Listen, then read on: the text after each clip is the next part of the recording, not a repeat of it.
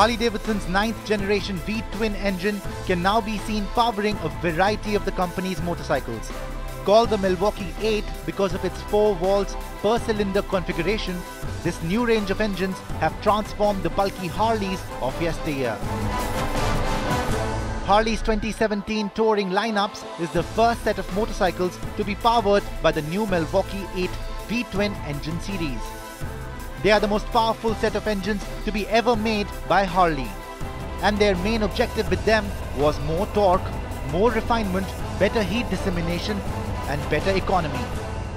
Well, after the introduction of the Milwaukee 8 engines, Harley-Davidson is bringing in new life to their touring lineup. And with that, they bring in the Harley-Davidson Road Glide Special. Yes, it's the 2017 version and it has new front and rear suspension, it has new equipment and we take it out, we see how it does and we feel how it feels to have the top bosses of Harley-Davidson under our feet. The engine on the Road Glide we have is the 107 cubic inch M8. The most basic configuration from the entire series. It gets a displacement of 1745 cc and 150 newton meters of torque, coming in right from 3250 rpm onwards.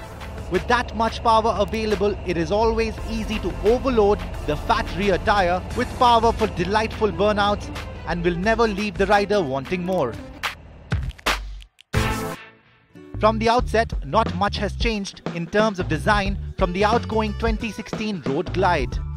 The bike gets a large front, fairing which houses the instrument console, infotainment system, speakers, and stowage areas.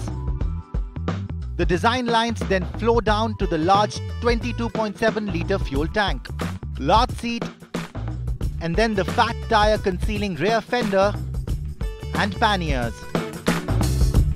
Well, from the very first glance, you'll know that this is Harley-Davidson's top-of-the-line touring machine. And that is evident from the bold styling. Right from the large but functional front fairing to the dollops of chrome, premium quality paint, premium quality panniers, all around, you see style statement written all over this bike. And it makes people turn their heads and look everywhere we go. Another big talking point of the new motorcycle is the new Showa front and the rear suspension. With our time on the Harley Road Glide, we found that the change has helped the bike to be more comfortable, making absolute mincemeat of road undulation. Also, it has become a more nimble motorcycle to handle on twisties and city traffic. The front suspension now gets double bending valve forks. This helps the front tire to be in constant contact with the road by controlling movement in both directions, up and down. The rear suspension, on the other hand, is called emulsion shocks, accessed by removing the panniers. They have a turn dial system adjustment and get 30% more preload adjustment range than the outgoing model. Being a premium touring motorcycle, the bike gets a whole host of entertainment and convenience features as well.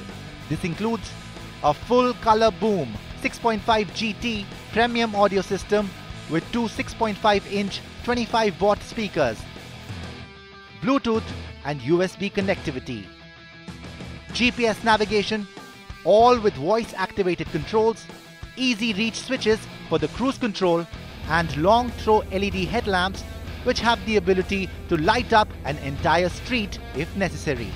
Well, after riding the bike for the whole day, I found the bike to be really special, like the name suggests. I love the engine, I love the comfort, I love the styling. Yes, the size is can pose a bit of a problem, but it is surprisingly easy to handle in the city as well. But for other times, well, it is mostly a weekend getaway vehicle. And for those with the means, well, it is beautiful. And if I had the money, I'd pick one up right away as well.